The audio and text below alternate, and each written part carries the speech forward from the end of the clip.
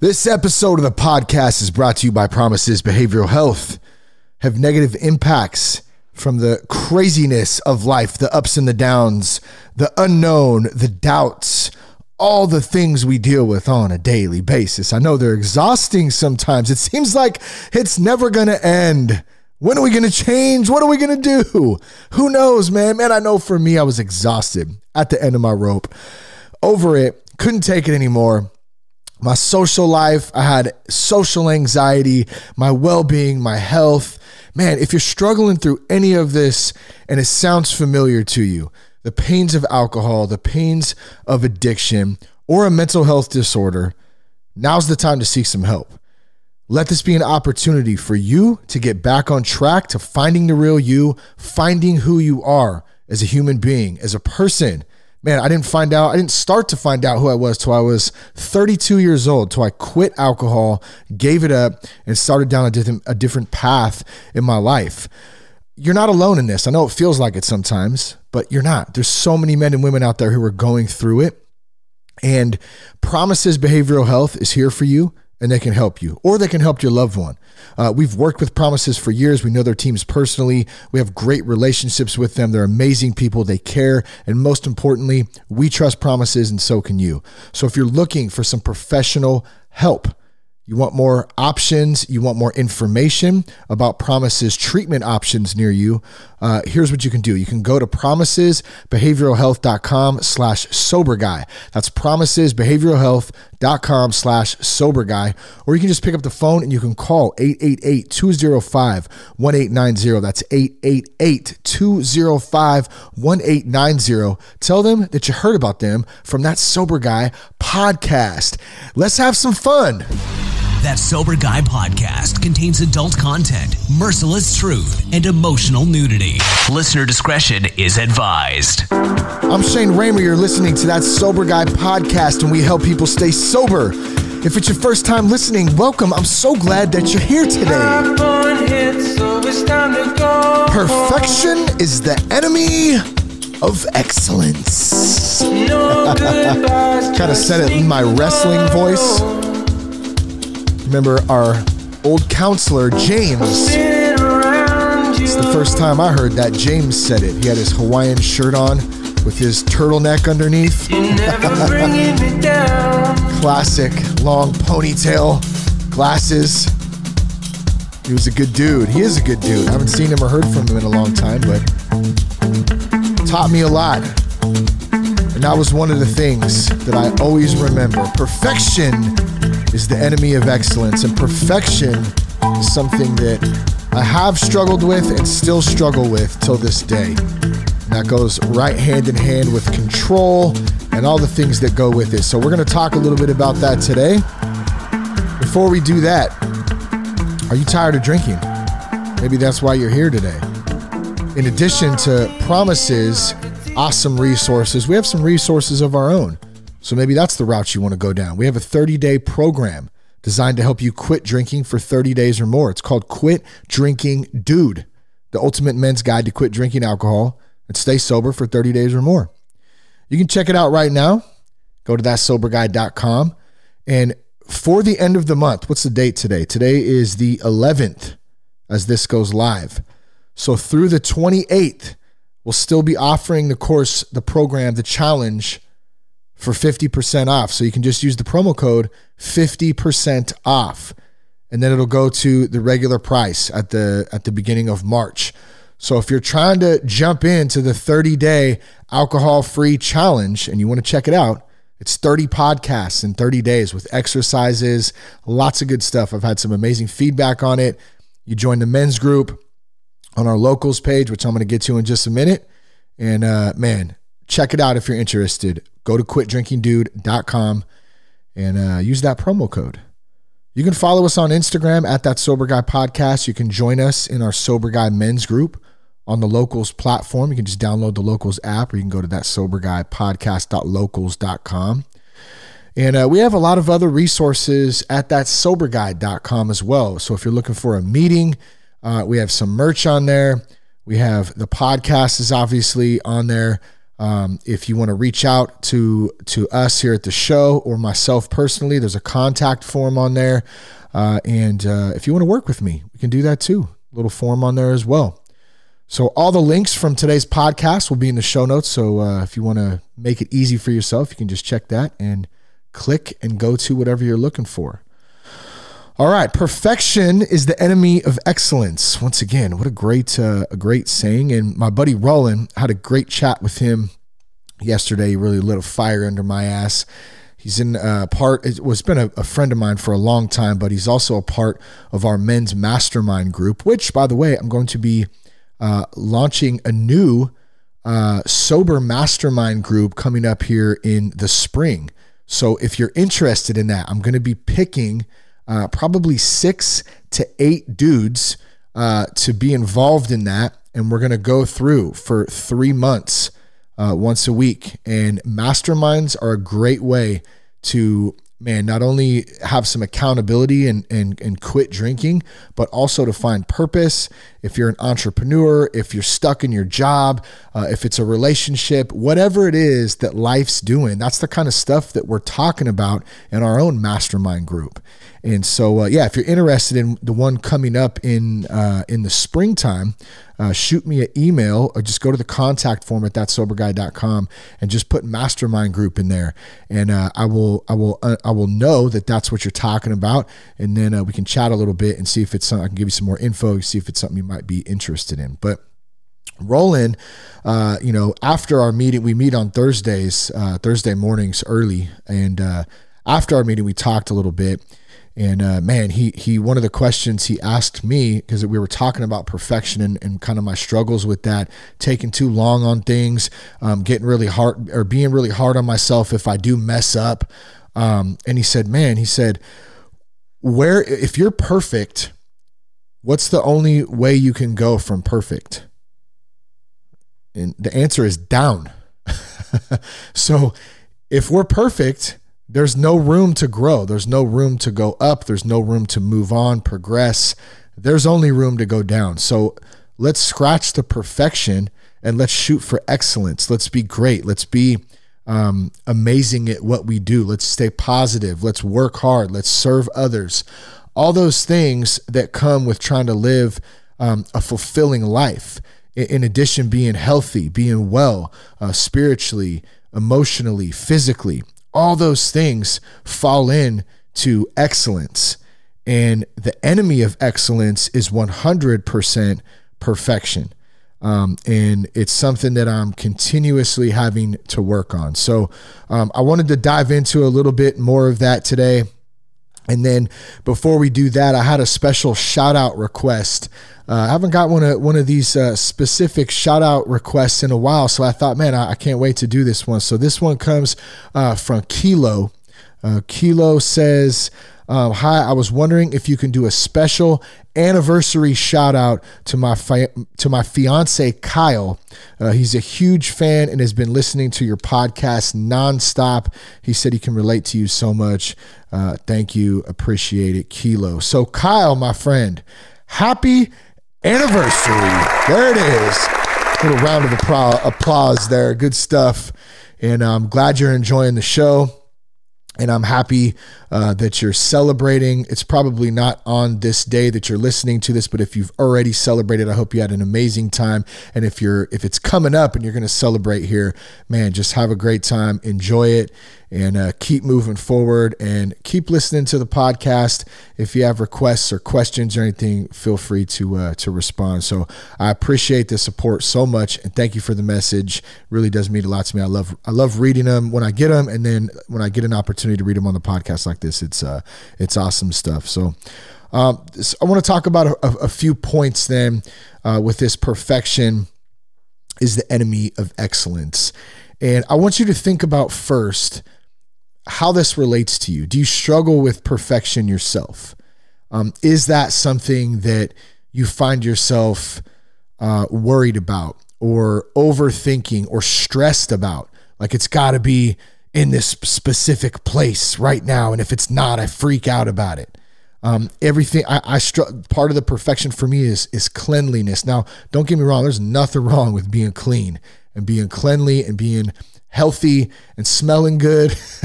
you know, like nobody wants to be around someone who don't brush their teeth and smells like ass. Like it's just that's not fun. So I want to be clean. But even like my room, uh, my space, like my area, my office, um, it has to be generally clean or I freak out. Okay. And so there's some perfection issues in that. And how so how do you balance keeping stuff clean if that's your thing i'm just using that as an example right now and also being okay if the day gets away from you or the week gets away from you and your area is a little cluttered a little bit um, it's not going to ruin your night and make you lose sleep over it because it's done that to me before. I will lose sleep if everything's not lined up and i can't finish projects. That's part of it. It's finishing stuff. So like if i don't finish something if i leave it open ended it's on my mind and I can't stop thinking about it until it's done. And so those types of things, they fall into perfection. You know, and those are just a couple examples. Maybe you have a couple examples of your own, some things that you're thinking of that bug you. Or maybe it's somebody that you live with, a spouse, a, a child. Um, it's, maybe it's a grown adult child, you know, that stays with you, you're living with, or or it's your wife or husband, um, a roommate, whatever the situation is you know, if it's somebody or something, you know, those types of things can really drive us uh, not only crazy, but back to drinking in some in some instances if we're not careful because we can't handle the stress, we can't handle the the pressure um, of not being in this state of perfection.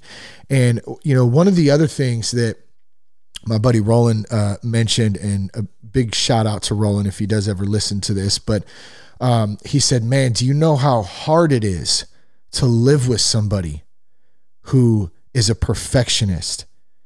Um, and, and, man i i do because my wife tells me. And i think roland i think it's okay if i say this he's had a little experience with this him, himself and so he can relate to it as well. And it's you know it's it's tough to be on the other end of that you know and so i'm really trying to to do better because i, I don't do it intentional like intentionally. I'm not trying to be an ass or um i'm not trying to like you know upset anybody or make anybody feel less or not is like i'm better. It's just my brain is wired for per, like this it has this idea of how things should be or they need to be and if it's not like that, I I get messed up sometimes. And you know, that's another thing that that Buddy and I have worked on together too. Is I remember him telling me, he said, look, like just because somebody does it different than you, it doesn't mean that it's wrong. It just means it's different. So, for instance, if let's just say, I, I don't know why this is a total random example, but we're raking the leaves, okay? Meet another guy. It's an imaginary guy. We're both working together and we're raking the leaves. And this guy, this some bitch. My grandpa used to say that back in the day. Dead, dead, some bitch. so this some bitch wants to rake the leaves from left to right. I told him, I said, you rake the leaves from right to left. Okay, because that is the right way. You want to do it left to right? That's that's wrong. Why am I talking like that? I have no idea. but do you catch what I'm getting at here? The imaginary guy, and I'm working in the backyard with him. There's a, a shitload of leaves out there, and he wants to rake them left to right and pick them up with his left hand and put them in the garbage can. And I want to rake them right to left and pick them up with my right hand. And that's the right way to do it because I say so. And if he does it with his left hand and rakes them left to right, he's wrong. now, shit like that would honestly could ruin my day. And that's that's kind of a goofy example, right? But you I think you probably get the point. Somebody doing something different than I do it, it doesn't make it wrong. So when we live with people, when we live with our spouse, um, roommates, our kids, maybe we live with family, we're all different. We're different people. And we have to be able to accept the fact that people do things differently and there's not they're not going to be perfect at it as neither are we You know, so so where does some of this stuff come from? It kind of leads me to the first point here. Where does this come from? And I know for me where it comes from. I wasn't allowed to mess up as a kid. If I messed up, it was a shit show. Like I was in trouble. I was talked down to. Um, if you left a crumb on the counter, you, I mean, you don't even want to know. It was ugly. You know, it was this constant like bombardment of pressure to not mess up. So that was that that went from cleanliness in the house to baseball. So like if I messed up in baseball, you know, um, I don't talk about that a lot. I played a ton of baseball growing up, man. It's my favorite. I, that's why probably why I love being around baseball still till this day. And I'm getting an awesome opportunity right now to coach both my kids, which is amazing, you know. And but even as a kid, and I've tried to learn from this, so I make sure I do not do this to my to my kids. And it's not I'm not faulting my my dad or my parents or anything right now. Man, they were just doing the best they could at the time. I have no like I'm not angry about it. I've done a lot of work on that um, I can talk about it openly. I, I, feel like now, without being you know pissed off or upset. Um, but man, there was a lot of pressure, like as a kid, and like if I didn't perform well, or if I, like um, in baseball terminology, if I struck out or made an error, I always felt like that pressure, like to be perfect and you can't mess up. And what's funny, man, is baseball is a game of failure. Like, tell me another game where you can bat 300 and be considered like amazing or pretty damn good. Like, I can't think of another sport or another thing, you know, there may be, but I can't think of one off the top of my head. Like, you fail in baseball as part of the game, you know, and so I never really learned how to fail really really well. You know, that's one of the things I brought up to to our team the other day and they're 8 years old, man. So we're just really focused on learning the game and having fun. You know, but one of the things I brought up is yes, we want to win and we're going to learn how to win. But it's so important to learn how to make a mistake and learn how to lose at the same time. I'm not saying I want to be a loser. I'm not saying I want to lose, but we're going to lose. It's inevitable. We're not perfect. So we need to learn how to handle that. And when, when we can learn how to handle those things at a younger age, we're going to be that much more ahead of the game.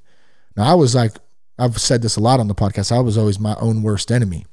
I was always the hardest on myself. Man, so easy to get down on myself and and get pissed off at myself and beat myself up. You know, and it it just it's really affected my confidence and my self-worth. It's affected a lot of that you know, I've had to, and I've had to continuously do work on this still. You know, I just did it yesterday in the conversation with Roland, you know, without going into detail about it. But, you know, and, and that's why I do things like mastermind groups, like our locals men's group, like meetings. Obviously, I do the podcast you know we i i do those things and other dudes participate in those things because that's how we get better. We get feedback we get uh, advice um, we hear other people's stories and how they've done it and what they liked and what worked and what they didn't like and what didn't work. We don't do this stuff on our own you know? So i know from experience that these types of things work. They work and they help us um, as long as we can remain teachable and open minded, they help us grow, they help us get better. So I know where a lot of that perfectionist uh, mentality comes from. It comes from being wired that way as a kid, you know. And the next thing is, I don't have to be, nor do I want to be perfect. Okay. I don't have to be, and I don't want to be, but I try sometimes. I try, you know um, and it's it, it's still it's it's a lot of pressure still. And so, how do I let some of this go and not have to, um, you know, not have to carry that weight of having to have everything just the way that I think it needs to be? You know what? It just reminded me of. I need to grab some water. It just reminded me of um, in the big book, the big blue book. Some of you know what I'm talking about when they talk about, um, I don't remember what page it is, but they talk about how those of us who struggle with alcohol, we struggle with this perfectionist type of issue. And we want to be, if we're talking about a play, we are the actor, we're the director, we're the stagehand, we're the audience. We wrote the script. Man, we do it all. And we we literally try to control every aspect of everything to perfection. And when something goes wrong, we lose our freaking minds. and Jess has pointed that out to me quite a few times. Like, man, you're like, you're good. And then something happens and you just like lose your mind. And it's true. Like, I, you know, and so I, I feel like I'm, I feel like I've gotten, because I think the, the, the best way to get better at things is you have to be aware of them first so that's why you'll hear me talk about these types of things on the podcast. It's not like I want to air all my shit out, but I also when I get to talk about them, it creates awareness, which which creates um, an awareness that can help me move forward and fix that types of stuff. So when it comes up again, because it will, I can I can think about it and I can be aware. Oh, wait a minute, I'm freaking out right now because you know this just happened and let me ask myself number one thing. Well, two things. What am I scared of? And the second one, um, do I have any control over it? And probably, you know, the, the the second part of the answer, do I have any control over it? Usually is no. I only have control over me, my response, how I act, what I do, what I choose to do, what I choose to not do. So that's a big part of it too. Like I have to become aware and the only way I become aware is by learning and growing and staying open minded, getting feedback, um, uh, talking about this stuff. So whether I talk about it uh, here on the podcast, whether I talk about it on our uh, locals group, you know, chat or in our locals men's meeting, that's on Wednesdays, by the way, at 5 p.m. Pacific time. Um, so there's a, you know, that's a new meeting that we just uh, just started doing a few weeks back and it's been great. So if you want to hop on that and just hang with the guys on on Wednesdays at 5 p.m. Pacific time, just go join our locals group, and I post it in there every week. Um, but man, we have to be, you know, in, you know, groups, and we have to have people, and we have to be open about this stuff. That's how we grow. So how do we let go of perfection? And just do the best we can with no expectations. Um, I wish I had, you know, a magic answer. I don't I don't know that I um, have that. Actually, I I know that I don't have that. Um, but what I do know is it is possible to let go when we're aware and when we pray and meditate and we talk about this stuff. What's worked so well for me this week is um, is getting back to like a routine at, at, at the gym itself. I got in the squat rack today. Um, I got some great quick CrossFit style workouts in on a couple other days during the week. Now, some of you know, listen to the show for a while, like we just moved. Um, so that was, it's been a lot getting settled in. Um, I tried to set up like a home gym in, in, uh, in the garage here and I have the space to do it. I mean, I put a heavy bag up, I bought some kettlebells, um, I, I, bought a couple jump ropes, I bought some. Uh, we have a pull up bar in in the garage that would happen to already be built in when we moved in.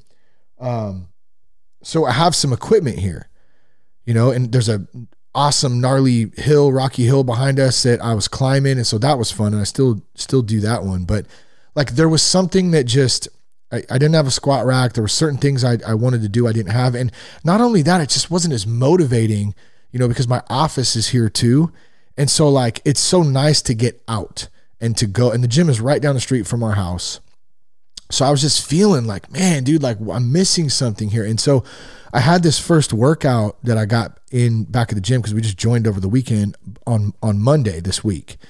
And man, let me tell you, like five minutes in, I was on the rower. I was I was doing like a, a two thousand meter row like warm up kind of session, and man, the first couple of minutes, I just like wanted to cry. It just felt so good, like literally, it just I had the music on, and it was just like something was released in me in that moment, and some of you probably know exactly what I'm talking about. Maybe you do you do yoga or you you you do some sort of fitness or exercise or you do something uh, like hiking or riding riding a, um, a bike, whatever it is that you do. You know what I'm talking about. That feeling, especially if you've been away for it for a minute, where you're just like ah, man, that feels amazing. It brings me peace. It makes me feel at ease, just as I am.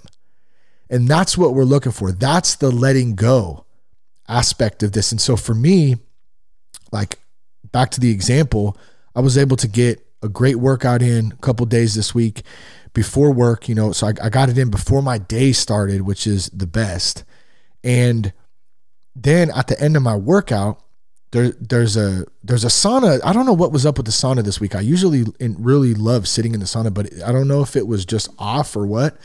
Um, I couldn't figure out how to get it like super hot, so I opted, which I'll sometimes do both, but I opted for the hot tub instead. There's a hot tub outside, so man, there's no nobody there. Early early morning, you know, fairly early, and I can just go sit in the hot tub after I just got a good workout, and like nothing crazy, 10, 15 minutes, and just close my eyes and and meditate and pray, and and man, it's the it's so amazing. It allows me to let go of the perfection. It allows me to let go of the pressure, to let go of the stress, to let go of everything and understand that this is how it's supposed to be right now in this moment. And look, we don't need a hot tub and a gym and all that to to get there. I get that. And that's some would say, well, that's a crutch, you know, and you don't need that and you should be able to sit and face a wall and do and I understand the mentality of that. And I get it. But at the same time, there's things that help us get into those types of modes, especially if we're getting back into them. And man, for me, like a great workout and some hot sauna or a hot tub and being able to just relax, that helps me big time. It, it's it's like huge. And so I realized this week that I had kind of gotten out of my routine of doing that. You know, I had gotten out of the um the the routine and I was becoming um, I was becoming a bit bored and I was becoming a bit lazy, you know, and I think I, I think some of it was just that I was tired. I was a bit tired just from the move and just everything going on, just a lot of change. And now I'm on this different, different little chapter. I think, you know, we started this new chapter now where it's like, okay, we've moved on into this next phase. Maybe phase is a better way to put it. Um, but I'm really working on this week on letting go of that perfection and striving to be excellent and and not perfect, but excellent, the best I can do. And the caveat to that is not setting expectations in it either. Not setting expectations to be let down when it doesn't work out like I think it should. Because that's another enemy. And that's a whole nother podcast in itself. Maybe we'll mess with that. Actually, we will. We'll do something on expectations because that's been um, that has came up quite a bit lately. So I'll try to make that the next podcast. Um, but letting go of perfection, striving for excellence, um, you know, that is where I find my peace, and that's where I find my you know place to be at ease, just the way it is. And it, there's there's acceptance in that right? There's there's a lot of acceptance. We have to be able to accept where we're at and we're supposed to be in this time and the more we fight it, the worse it gets. You know, so let's wrap this up today and look, if you're feeling any of this, if any of this makes sense to you, if you relate to it and you feel the the stress of perfection, let me just tell you you're not perfect and you don't have to be and neither do I. We need to let go of that. We need to practice letting go. We need to talk about it. We need to be in, in, in some sort of support um, environment where we can talk about it. And uh, we have a lot of resources to do that. There's a lot of other ones out there too. So I just encourage you if it's not Sober Guy, find something. Find a, a, a meeting, a group in your community, online, your church, wherever it is. You know, if you want to check some of our stuff out, you can go to thatsoberguy.com Everything is on there. Resources page. Um, you can also go to quitdrinkingdude.com if you're interested in the 30 day uh, program. Um, there's a lot of good meetings on there There's our local. I mean, if you're gonna start somewhere and you're a dude out there, that's probably the place I would recommend. Um, like at the top of the list too is our our locals men's group is a great spot to get plugged in if you're new to something like that because all the dudes in there are awesome. So what's up to my my locals buddies? I appreciate you guys. I'm learning from you, and um, it's it's just it's an awesome thing. So. Uh, thank you for tuning in to the podcast today. I appreciate you guys. We've been at this since 2014 and we're not slowing down. We're going to keep going. We're going to keep having fun and we're going to keep helping dudes uh, quit drinking, stay quit, and, uh, and find purpose. Uh, so if you like the podcast, please share it with a friend. I would greatly appreciate it. You can leave us a review. As always, connect with us on Instagram at that sober guy podcast. Same with the locals app. Download that. Check us out. And uh, everything we talk about today will be in the show notes. That's soberguy.com. You can find everything there as well. Love you guys. Peace, love, and respect. Keep your blood clean.